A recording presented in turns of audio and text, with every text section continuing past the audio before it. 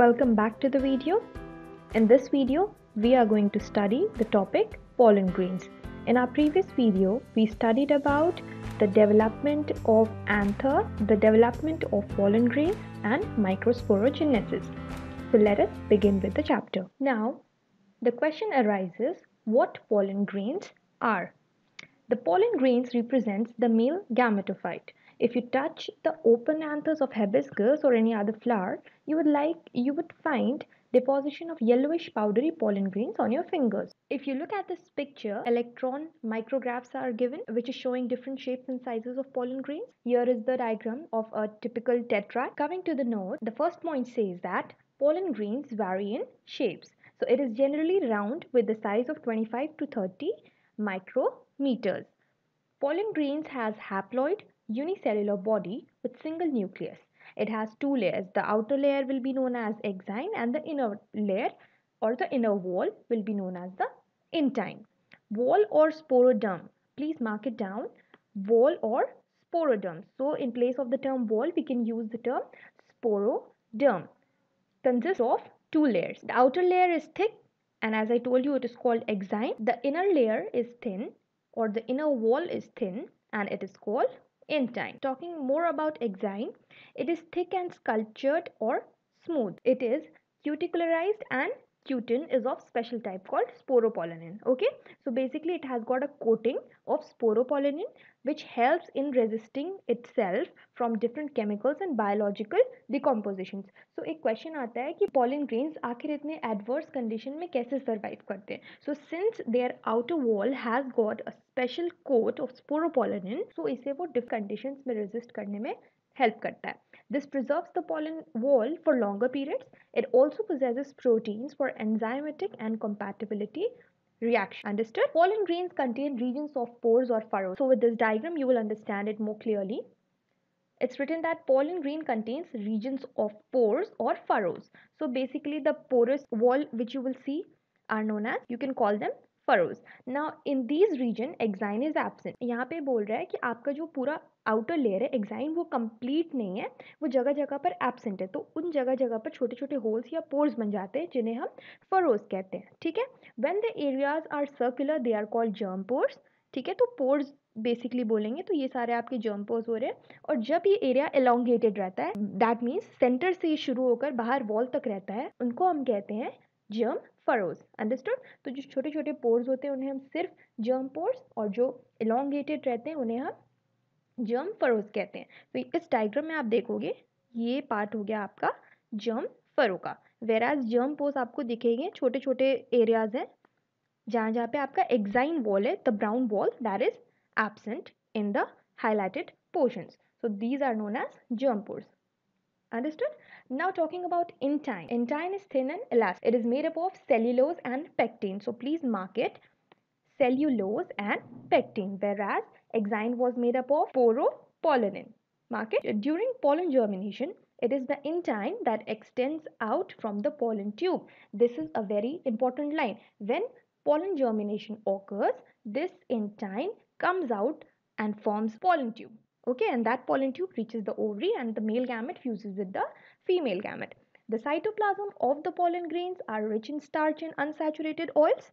They are initially uninucleate and later becomes 2 to 3 celled. So in the beginning, the pollen grains will have single nucleus and later on after differentiation, they can be of 2 to 3 celled. The pollen of each anther lobe forms a characteristic mass called pollinium. So over here, this point says that pollen grains can be monocolpate having one germ pore, bicolpate or tricolpate. So this diagram you can easily observe that the exine is absent in three places. So it is having three germ pores. That therefore we'll call this a tricolpate pollen. The branch of study of pollens is called palynology.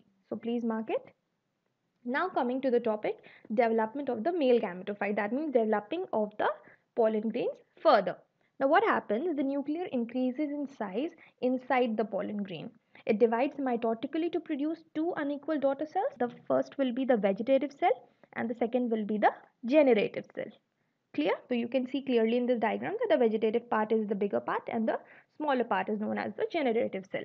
However, in plants such as cereals, the male gametes form while the pollen is still within the, in these cases, where pollen is shed at two cell stage, the generative cell divides after pollen has landed on the stigma. The last point says that the cytoplasm of the generative cell does not contain much of the stored food material. Basically, the vegetative cell is having more stock of the food materials and the generative cell, you can see, look over here, it's having very less food material. Fat, starch, protein granules are present in the vegetative cell. In your NCERT book, there's a line given that the vegetative cell is bigger. Okay, let me mark it for you. The vegetative cell is bigger has abundant food reserve and a large irregular shaped nucleus. So you can look over here that it is having an irregular nucleus. Understood? And in case of generative cell, it is small and floats in the cytoplasm. It is spindle shaped with dense cytoplasm and nucleus. तो यहाँ पर जो generative cell है उसका cytoplasm बहुत ज़्यादा एक dense होगा बहुत concentrated होगा और वो spindle shaped का रहेगा.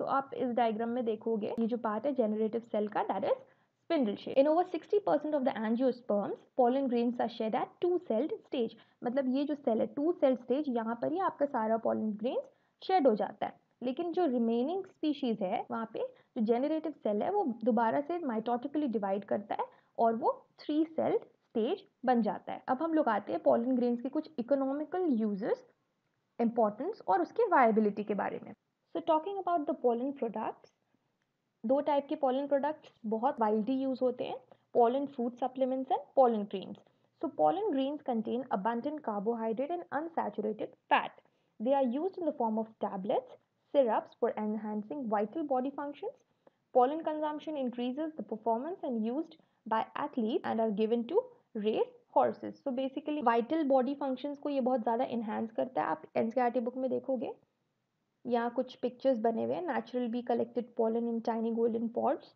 so ये सब टैबलेट्स यूज़ करते हैं एथलेटिक्स लोग को और हॉर्सेस लोग को दिया जाता है ताकि वो लोग का परफॉर्मेंस बेटर हो पाए। Talking about pollen creams pollen green protect grain protect themselves U V rays so they are use in creams emulsions for providing smoothness and protection to skin so बहुत सारे कॉस्मेटिक्स होते हैं जो आप use करते हो तो उसमें अगर आपको यूवी प्रोटेक्शन दे रहा है तो कहीं ना कहीं वो पॉलिन क्रीम भी हो सकता है। पॉलन वाइबिलिटी के बारे में आते हैं तो पॉलन वाइबिलिटी का मतलब है द टाइम और the period for which pollen grains remain viable और functionally is called pollen viability that means pollen का एक validity आप बोल सकते हो so it depends upon the temperature and humidity pollen grain remain viable for 30 minutes so through the help of cryopreservation pollen grains can be stored in liquid nitrogen and used as pollen ban. In our NCERT, it is possible to store pollen grains of a large number of species for years in liquid nitrogen. The temperature will minus 196 degree centigrade. So this type of preservation को हम लोग बोलते cryopreservation. It's written over here. Let me mark it down. Cryopreservation or cryopreserved in liquid nitrogen. Pollen allergy के बारे में अगर मैं बात करूं तो pollen grain produces several allergies it causes fever and common respiratory disorders as asthma or bronchitis. Carrot grass or Parthenium hysterophorus is also a major source of pollen allergy. So it also causes harm to the internal body organs. It was introduced in India along with imported wheat. So till here we studied everything in detail about your pollen grains and in the next video we'll be studying about the megasporogenesis and the female part of the If you like the video please don't forget to subscribe. Thank you so much.